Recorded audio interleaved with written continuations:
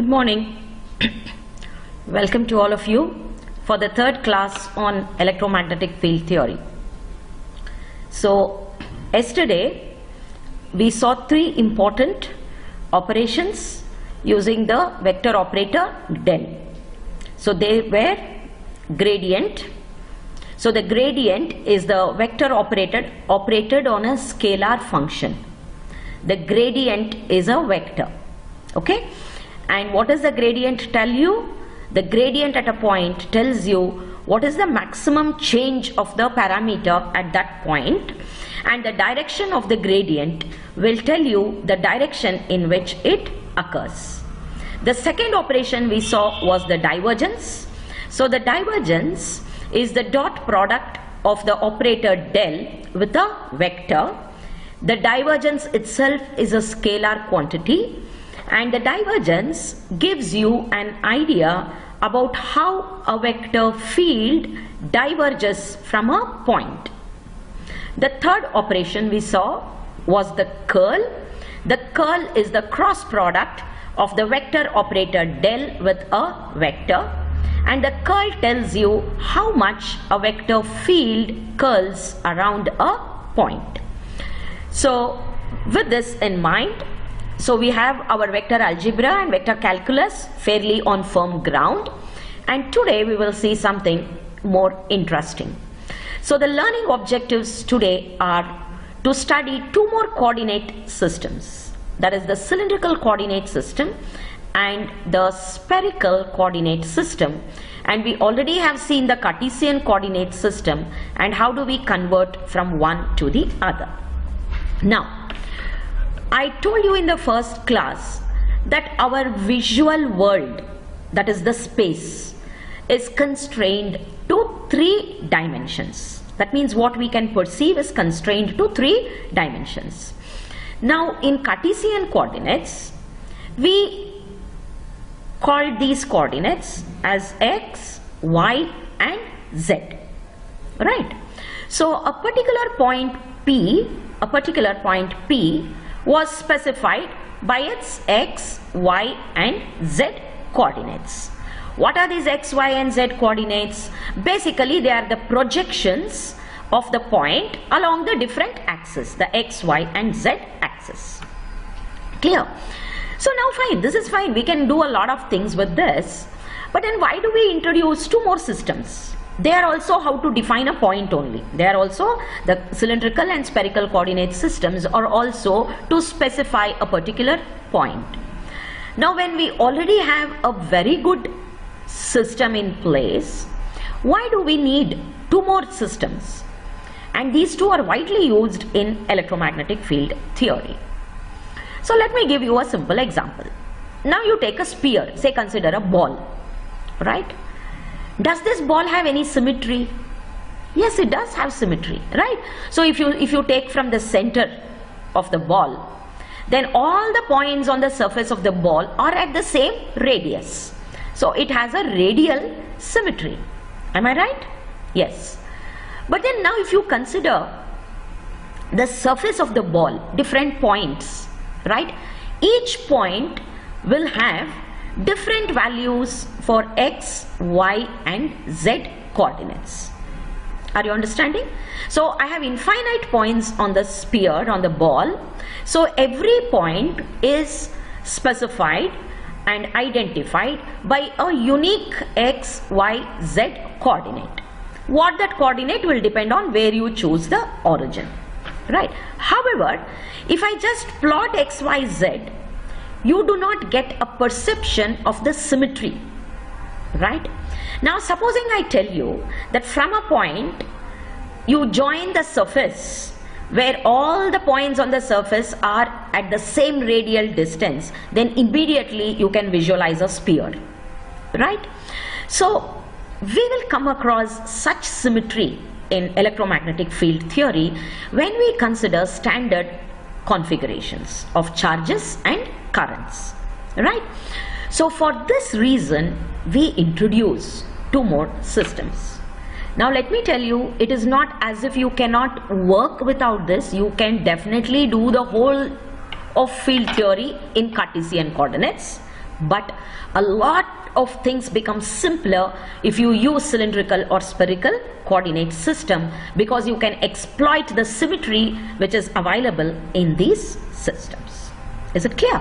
So I think uh, from the vector perspective, for a student, this is the toughest because they need to uh, visualize things and uh, somehow uh, in all my 32 years of experience I find students getting uh, very confused with this.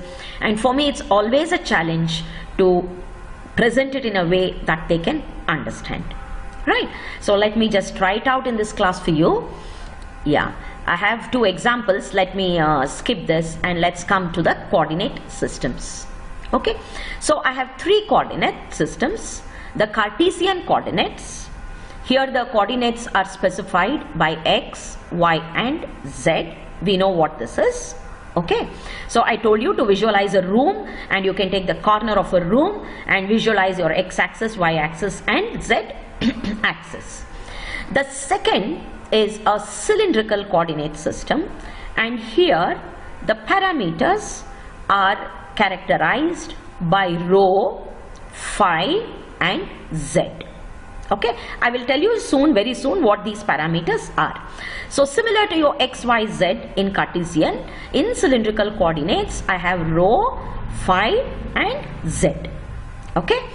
And um, uh, in spherical coordinate system the three parameters are r theta and phi okay? So these three coordinates are as generalized of what we call as a curvilinear coordinate system. You can have infinite coordinate systems. Okay? You can define whatever coordinate system you want. Okay? These three are what are popularly used. And uh, of course the simplest is the Cartesian but as I told you the Cartesian coordinate system misses out some symmetry which is obvious in cylindrical and uh, spherical system and that's why we extensively use those two in field theory. Fine. So now to get a perception, let's get back to our Cartesian coordinate and I want you to relate what we uh, uh, discuss now. So I told you in Cartesian, Cartesian coordinate, I have a right-handed rotation and a left-handed rotation. So we use the right-handed. So if you take this as x, x-axis, the next will be y and the third will be z. If you take this as x, uh, then yeah, if you take this as x, then this would be y and this would be z. So that is the order in which the points are specified. Okay. So now let's get some more into the insight of this meaning. We did discuss this earlier also. Anyway, so now let me take this plane what plane is this? This is the ZY plane, right? So what is the ZY plane? The ZY plane is a rectangular plane and all points on it are specified by x equal to 0. Okay, y and z can vary from plus infinity to minus infinity. So you get an infinite plane. Similarly, I have here the xz plane so in the xz plane, y is 0. So any point on this plane will have coordinates x, 0, z. Right? Similarly here any point in the xy plane, the coordinate will be x, y and 0.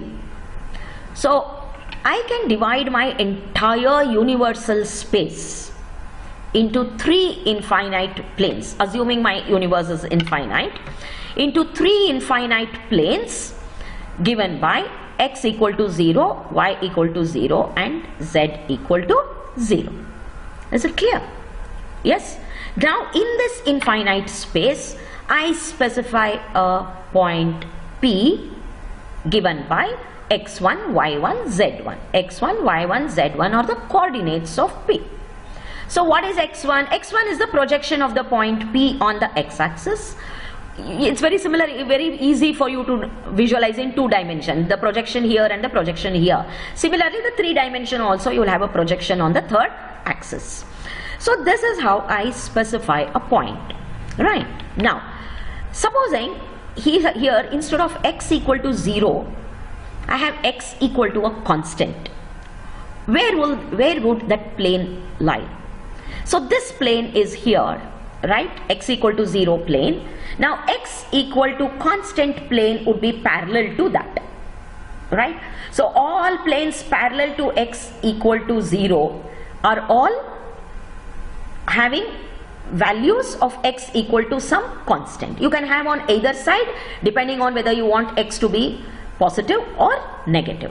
Similarly, all planes where y equal to constant will be parallel to y equal to 0 plane. Right. So now, if I specify a point P, x1, y1, z1, how do I visualize it?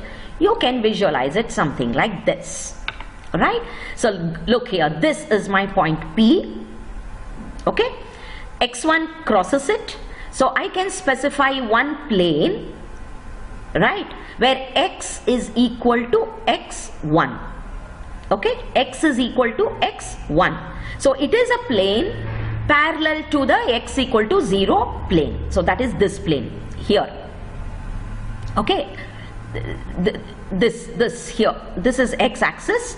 This is x axis. So this is x equal to x1 right? x equal to 0 is is your yz plane. This is parallel to that. Next what is this here? So i have taken the vertical axis as the z axis. So if z is a constant i get a plane like this okay? So this is z equal to constant. This is the x axis so x equal to some constant will give me a plane cutting cutting the x-axis right? This is the z-axis. So z equal to a constant will give me a plane cutting the z-axis. And this is the y-axis. So y equal to constant will give me a plane cutting the y-axis are you getting it so now I have a point P the point P is specified by x1 y1 z1 I draw three planes one is x is equal to x1 which is a constant that is this plane and another y equal to y1 which is this plane and another z equal to z1 which is this plane. So what do I have? I have a plane like this, a plane like this and a plane like this. So these three planes will intersect at point P. Okay. For example, in two dimension, if you just take two dimension, let me go back yeah if I just take only two dimension what will this point mean it will be here z is equal to constant is a line and y is equal to constant is a line so this point would be the intersection of two lines are you getting it? In two dimension. So a graph a point on a graph in two dimension is the intersection of two lines right where the two coordinates are constants. Now similarly in three dimension a point is the intersection of three surfaces. Okay? There it is the intersection of three surfaces.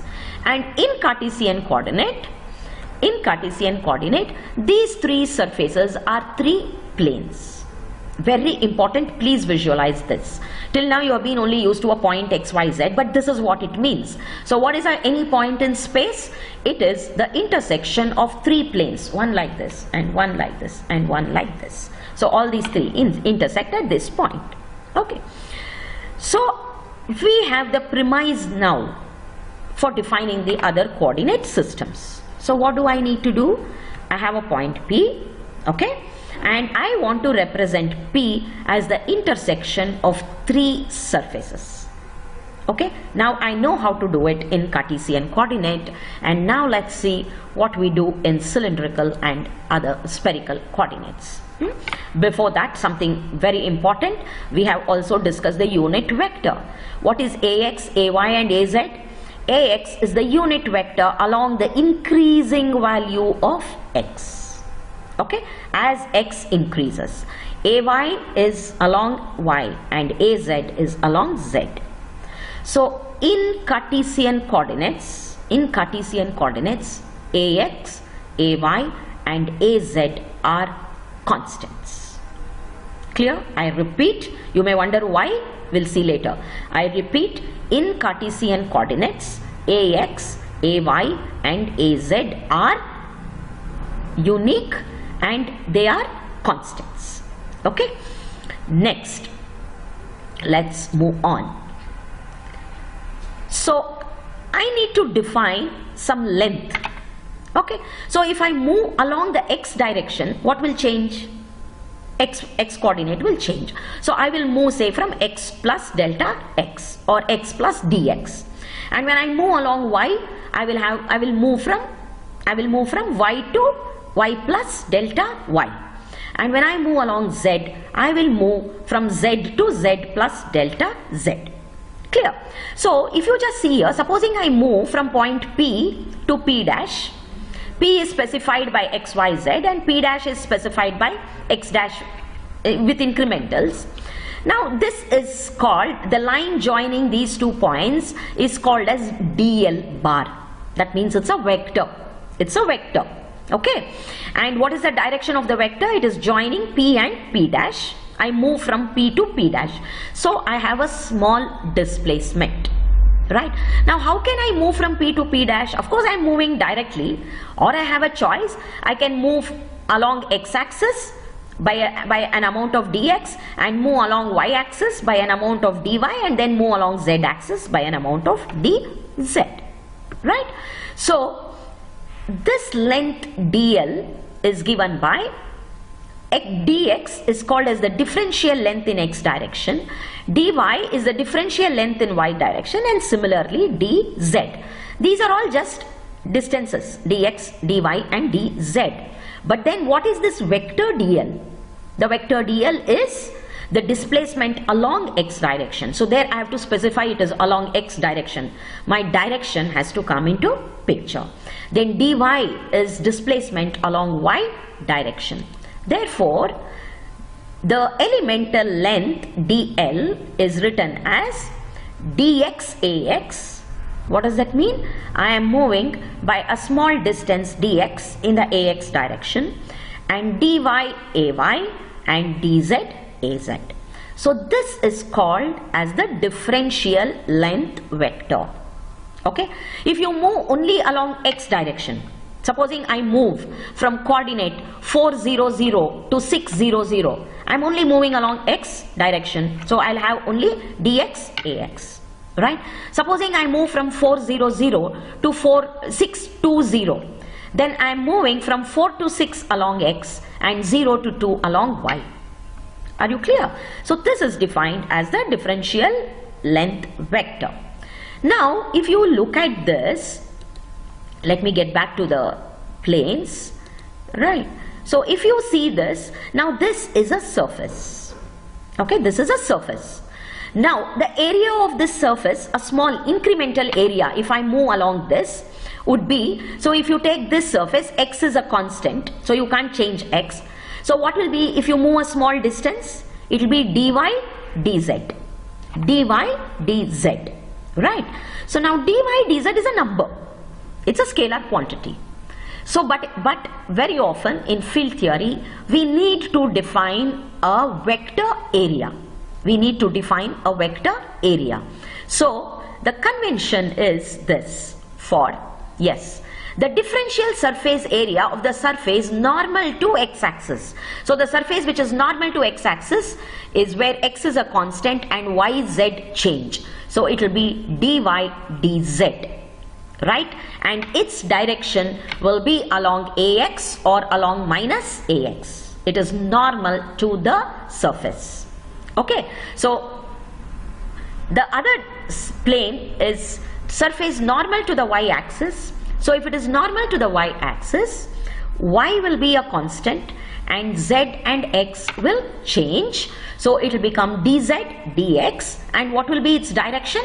Plus y or minus y depending on see I have a surface like this. So if this is negative x I move like this then it is dy dz minus ax. If I'm moving in this direction it will be dy dx dy dz in the plus ax direction. Are you clear? So if I have a plane surface I have two normals. So which normal it is will de determine whether I'm moving in the positive unit vector direction or the negative direction. Okay. So these are the three these are the three surface areas. And we saw the differential length. We see we saw the differential surface areas. What is the volume So if I want to, please understand one thing. A open surface like this, like a plane or a sheet of a paper, right? It does not enclose any volume. It's an open surface. But if I have a closed surface, right, it will enclose a volume. Uh, say a sphere, a cube, a cuboid, they will enclose a volume. If I have an open surface, I cannot enclose any volume, right? So once I have a closed surface, I get a volume and in Cartesian coordinates, what is the volume? Length into breadth into height, you know that. So it will be dx into dy into dz. This is denoted by dv, that is differential volume. These three are very important. You will be using it extensively. So please bear this in mind. So I have the differential length vector. I have the differential surface area. Here it is a scalar. But then if I give the direction, it becomes a vector. Then I have the differential volume, which is a scalar quantity. Okay. So you see, I told you about vector, know, surface area as a vector. This is how it's represented. This is my surface area. If I just say yes, it is a number. It gives the area. Now I put AN. The direction of any surface is always normal to the surface. A normal direction is denoted as AN. So if this is positive AN, then uh, below this, if I if I if I take it this way, it would be minus AN. Okay. So same thing, whatever we discussed. So here you see I have dy, dz. So the area is in positive ax direction on this side of the plane and minus ax on the other side of the plane. So here what is this? This is y is a constant. So dx and dz vary. So normal to this is the y axis. So this surface area vector would be dx dz ay on this side and dx dz minus ay on this side and here what is, what is this? This is z is a constant. So this area is dx dy in the plus az direction and in the minus a di az direction if you take it below right? Trust me if you have understood this in Cartesian coordinates it will be easier for you to follow the other two systems. So I'll just summarize, we saw that in a three-dimensional space, any point can be determined by the intersection of three surfaces and in Cartesian coordinates, the three surfaces are planes, they are planes and the planes are specified by x equal to constant, y equal to constant and z equal to constant. And then we define the differential length vector which is dx ax plus dy ay plus dz az and then we de define differential surface area vectors right? And there the surface area is just the area of the surface you're considering and the vector direction is normal to the surface. And then we saw the differential volume.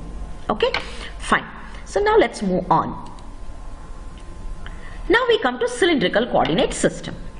So here also Every point P is specified by the intersection of three surfaces. So in cylindrical coordinate system, what are the three surfaces? The first surface is given by rho equal to constant, where rho is the radius of the of a cylinder. I repeat, the first surface is a cylindrical surface specified by rho equal to constant where rho is the radius of the cylinder. Right? Obviously when you have a cylinder, okay, the radius is a constant from the axis of the cylinder. Okay, now if I want to relate these three coordinate systems, I cannot have the origin of all the three coordinate systems must be the same. You agree with me? If I change the origin, obviously the points will change. So my reference point in all the three coordinate systems must be the same, which is the origin. So the point 0, 0, 0 in Cartesian coordinate is the origin and all the other two coordinates will be specified with that origin in mind. Yes. So now I have defined one surface as a cylinder so it is incomplete. The cylinder has infinite positions in space. how do I specify the radius? So I place the cylinder all around the z axis. What z axis? Z axis of your Cartesian coordinate. Only then I can do some conversion. Okay. So remember the point P in space is independent of your coordinate system. It is just a point. Right. Your coordinate systems only help you to place the point mathematically. So obviously whatever is the coordinate system your point should not change. So I need equivalence. So for the equivalence I need some references. So the first reference is your origin which is the same in all the three coordinate systems and the cylindrical surface of the cylindrical coordinate system I define it as a cylinder along the z axis. So the axis of the cylinder is the z axis. Can you see this cylinder? What, what, I, what I have drawn here? Yes. So this is the cylinder. Right? If I change the radius, I'll get a bigger cylinder or a smaller cylinder. Right? So how does it uh, go the radial vector? It goes like this. Along the radius. How did we define a unit vector? The unit vector is a vector of unit magnitude along increasing value of the parameter. Right? Okay, we'll come to that in the next slide. So the first surface is a cylinder with the z-axis as its axis and specified by the radius rho. Right? There are some authors and some physicists who use r for radius here but r is also used in spherical coordinate system. So to avoid confusion, we will use rho for radius in the cylindrical system. And this is what your textbook Hayt also uses. Okay, this is one surface. And the second surface is a vertical plane defined by phi equal to constant, where phi is an angle. And what is this plane? This plane looks like this. And look at where I have marked phi. Phi is the angle this plane makes with the x-axis. Okay. The angle the plane makes with the x-axis. That is called as phi. So obviously if I change phi, the, this, see if, if phi is 0, this will lie here. And as I increase phi, the plane goes on moving like this. So I can, I can rotate the plane by changing the angle phi. Got it? So this is the second surface. And the third surface is given by z equal to constant. Where z is your conventional z axis. So z equal to constant will give me a xy plane like this. Where x and y vary and z is a constant. Did you get it? Therefore, in cylindrical coordinate system, any point is specified by the intersection of three surfaces. The first surface is a cylinder around the z-axis specified by its radius. The second surface is a plane specified by an angle phi it makes with the x-axis and the third surface is again a plane specified by z equal to constant where z is the z coordinate in the Cartesian system. So now you just see this figure. What do I have here? I have a point P here, right? So the cylinder has to pass through the point P, okay? And then I have a plane here passing through the point P and I have another plane here at Z equal to constant passing through the point P. Okay, so the intersection of these three points gives me the coordinates in the cylindrical system. Now why did I need this? Why can't I simply, see this point P same xyz as you did in your Cartesian coordinate. Only thing is now instead of using xyz for the point, I am going to use rho, phi and z. Why? Why, why do I have to do all this? You see here there is a symmetry here. Right? The cylinder has a particular symmetry. Okay? But if I move, what is the symmetry? The symmetry is that the radius is a constant. Now if I move along this cylinder, my x, y, z keep changing. So I miss this symmetry, exploitation of this symmetry in Cartesian coordinates. Okay, so you would have studied in physics, no? Like if you have the current uh, flowing in a conductor, the magnetic fields are around the conductor, like this. So that has a cylindrical symmetry, right? So you will miss exploiting that symmetry in solving problems if you don't use cylindrical coordinate system. That's why it is used here, not, not just for mathematical reasons. Okay, so now I define three unit vectors. So you see this is a rho, a rho is in the increasing direction of the radius, right? Now is a rho a constant? Just see here I have a cylinder, right? I have a cylinder. So my unit vector at this point, it had to cross to the point, will be uh, in the radial direction. That means radial from the z axis. It will be in this direction, okay? And my at this point it will be in this direction. At this point it will be in this direction. So you see the unit vector a rho is not a constant. Its direction keeps changing. Right? Unlike in z coordinate in in cartesian coordinate if you have x see at any point ax will be along this direction only. Right? But here since i'm taking radial at different points the radial vector is different. Therefore cylindrical coordinates a phi and a a rho there will not be constants. Az is your normal unit vector along the z direction so it will be constant. Now these three surfaces are orthogonal. Just see here? Orthogonal means perpendicular. So this plane this will be normal to this surface this will also be normal to this surface. So I, I i'll have three orthogonal vectors. So now you know for orthogonal vectors the dot product is 1 right? If they are similar so you have a rho dot a rho is equal to 1 a phi dot a phi is 1 az dot az is 1 but a rho dot a phi or a rho dot az and all the other cross dot products they'll all be 0 right?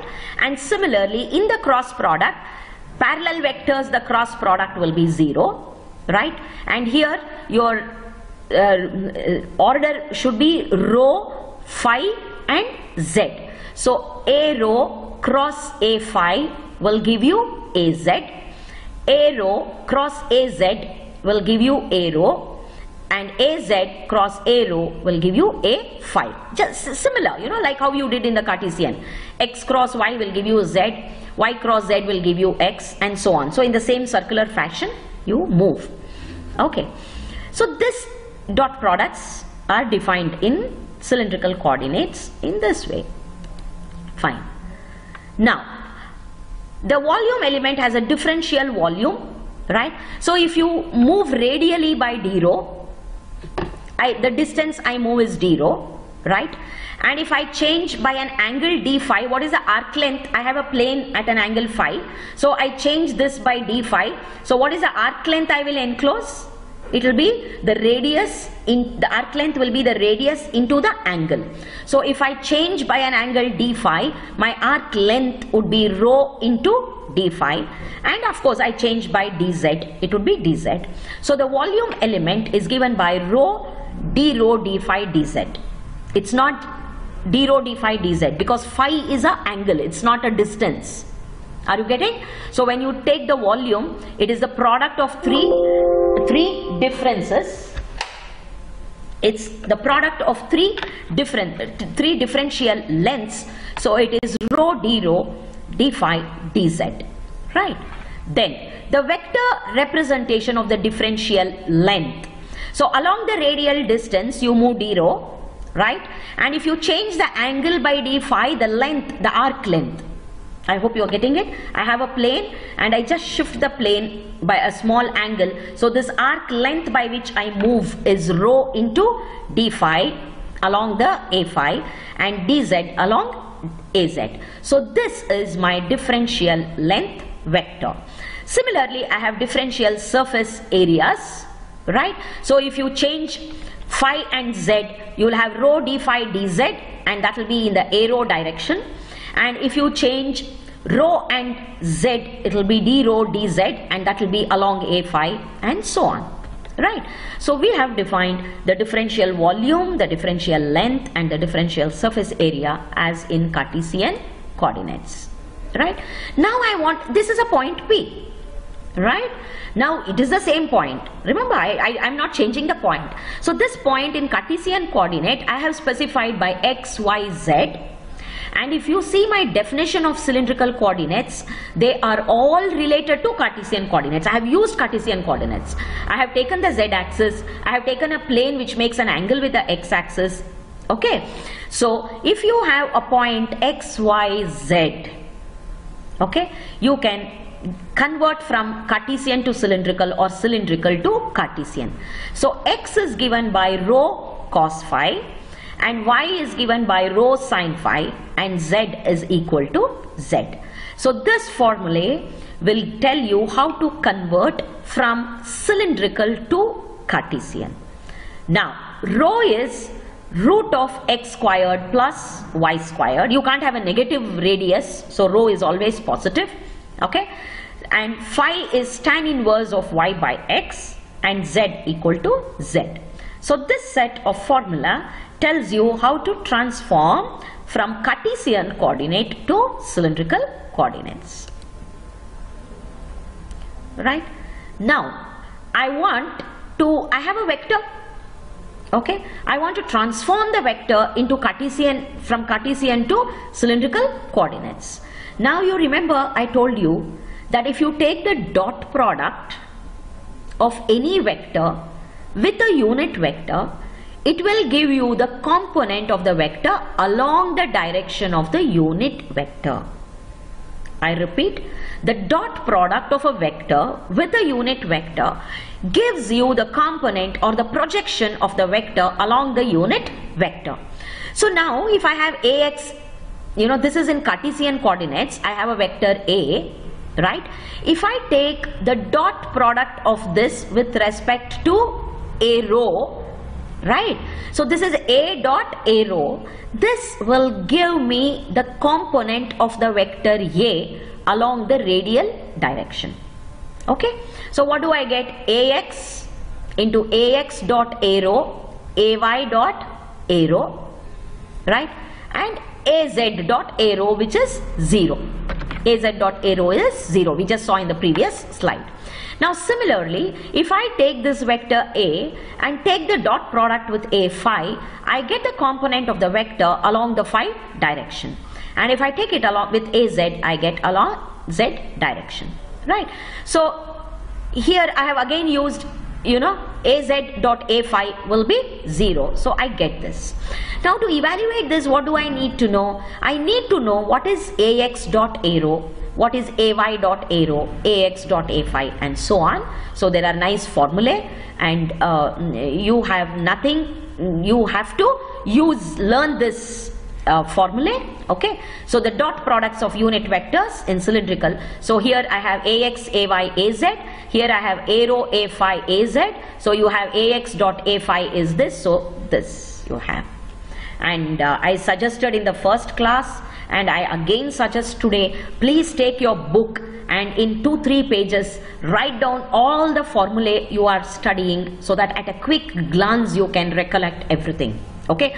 I know it will be there somewhere in between your book but then you should have it in one place if you look at Hayt textbook in the front cover and back cover all the equations are there. Do something similar in your notebooks.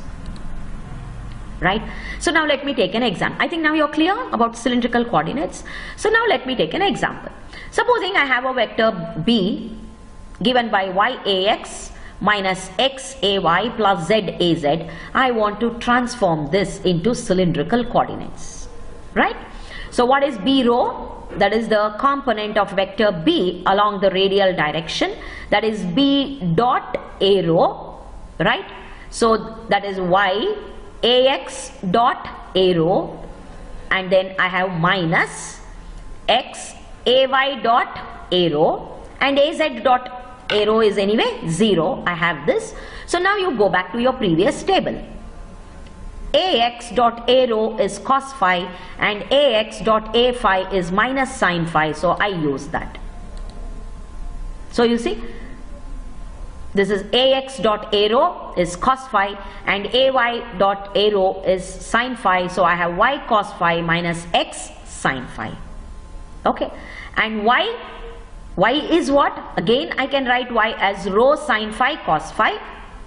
How did I get that? Just see here. From the previous here. y is rho sine phi and x is rho cos phi, right? So I can I can apply that. And therefore I get this as 0 right here I get rho sine phi cos phi and again b phi that is the component of vector b along the phi direction is b dot a phi and that is y into ax dot a phi minus x into ay dot a phi.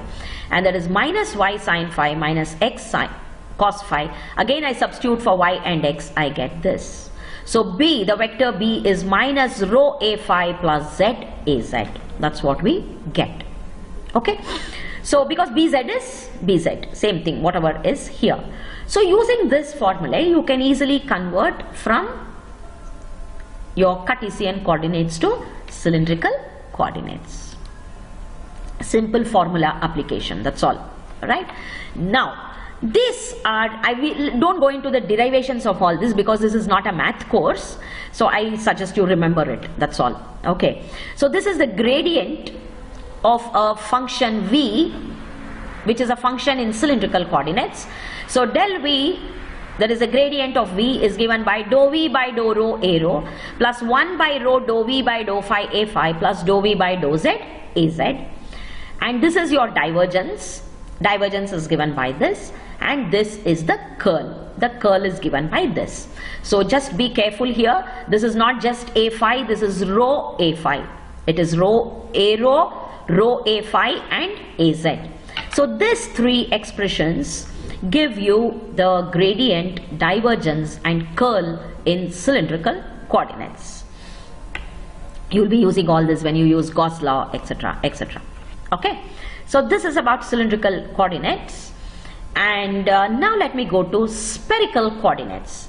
So the symmetry you had in cylindrical coordinates was a cylindrical symmetry. And as the name implies, in the spherical coordinate system, you have a spherical symmetry right? And any point P is uh, specified by three coordinates given by R, theta and phi okay? And let's see what these are. So again I have I need to have three surfaces just like in uh, Cartesian and cylindrical.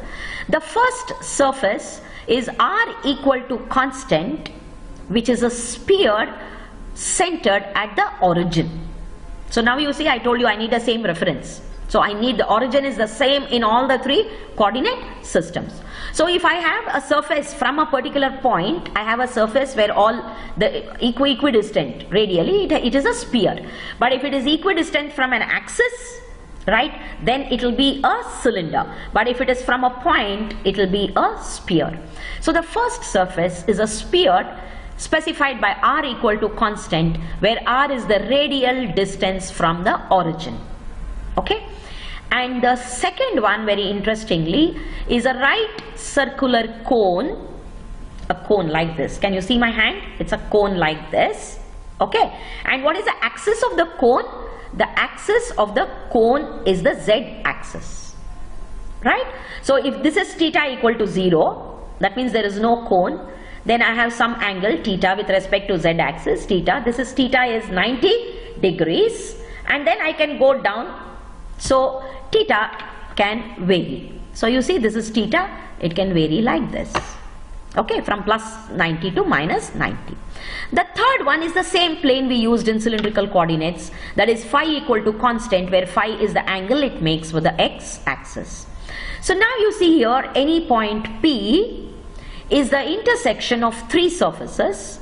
The first surface is a sphere which passes through the point P, right? That means it is the radial distance. The radius of the sphere is the radial distance of P from the origin. The second is a cone which makes an angle theta with the z axis and pa passes through the point P. And the third is a surface which makes an angle phi with respect to the x axis right? So the intersection of these three surfaces gives you the point P in spherical coordinate system. right? And just like in the other two coordinates ar dot ar a theta dot a theta a phi dot a a phi, phi they're all equal to 1 all these three are orthogonal vectors.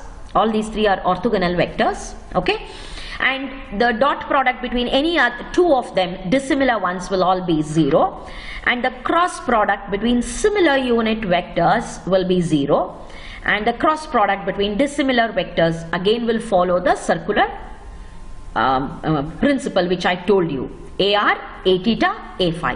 AR cross A theta is A phi.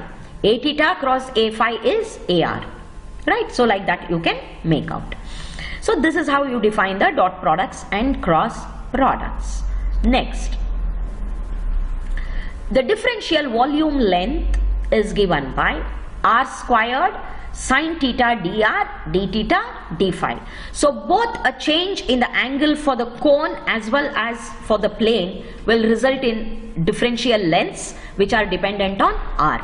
So that's why you have r, the volume is r squared sine theta dr d theta d phi. So this is an extra term, don't forget this. Okay. And the unit length, so radially if you move it is only dr. Okay? And if you move by theta it is r d theta. And if you change by d phi the length along the surface what changes is r sine theta d phi a phi. Right? And these are the vector representation of the differential surfaces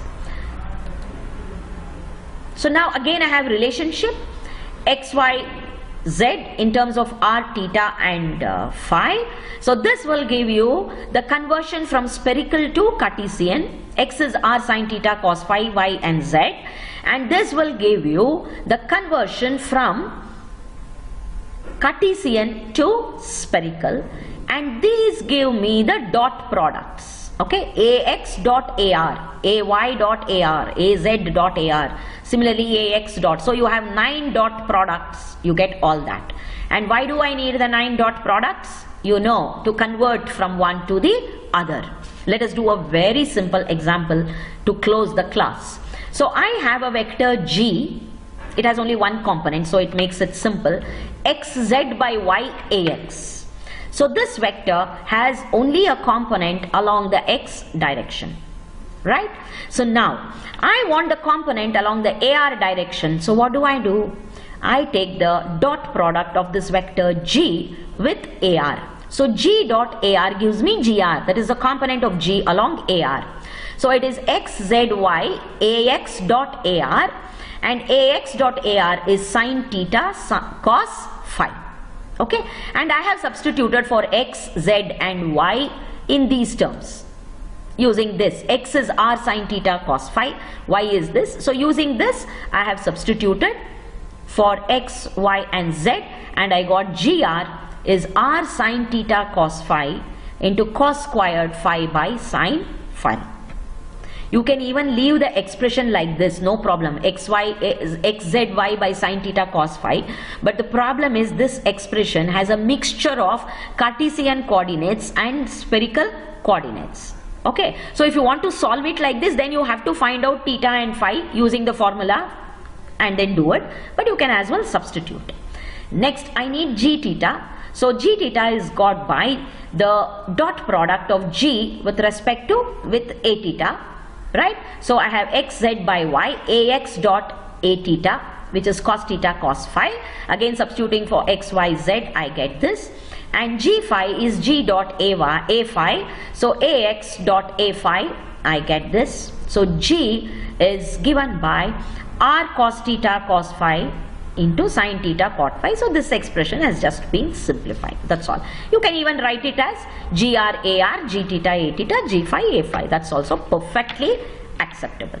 Clear? So this is how you can convert from one to the other. Now these are the expressions for your gradient and uh, for your divergence and for your curl.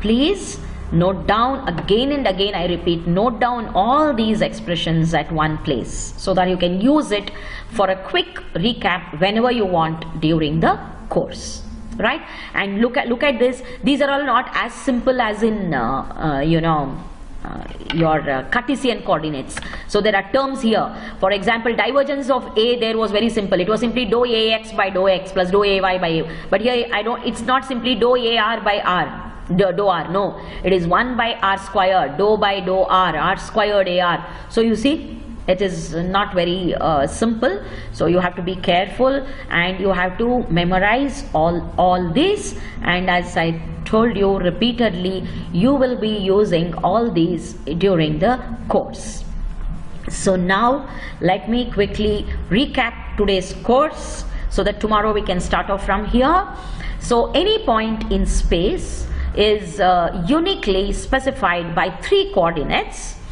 And uh, in the Cartesian coordinates these three surfaces are uh, the, the, so the point is specified by three coordinates which indicates the intersection of three surfaces. And in Cartesian coordinate the three surfaces are, are the x equal to constant, y equal to constant and z equal to constant planes. And in the cylindrical coordinates it is one cylinder specified by rho equal to constant and the axis of the cylinder is the z axis. And another is a plane given by phi equal to constant where phi is the angle the plane makes with the x axis. And the third is another plane specified by z equal to constant which is nothing but the xy plane and in spherical coordinate system a point is the intersection of three surfaces the first surface is a sphere of radius r which is the radius from the origin and the second surface is a cone which makes an angle theta with respect to the z axis and the third is a plane which makes an angle phi with the x axis. And along with this we saw the unit vectors. So except in Cartesian coordinates most of the unit vectors are not constants in the other two coordinate systems. So this is important when you do differential or integral. You can't treat the unit vector like a constant. Okay. And uh, we also saw the meaning of differential length and what is the meaning of surface. So when you take the surface as a vector, the direction of the surface vector is normal to the surface. So if I have a surface like this, this is the direction. If I have a surface like this, this is the direction. If I have a surface, so whether you want upward normal or downward normal will depend on what your which point you want to consider. And then we also saw the differential volume in the three coordinate uh, systems. And then we saw the expressions for gradient, divergence and curl in the three coordinate systems. So with this, I uh, end my class. Thank you.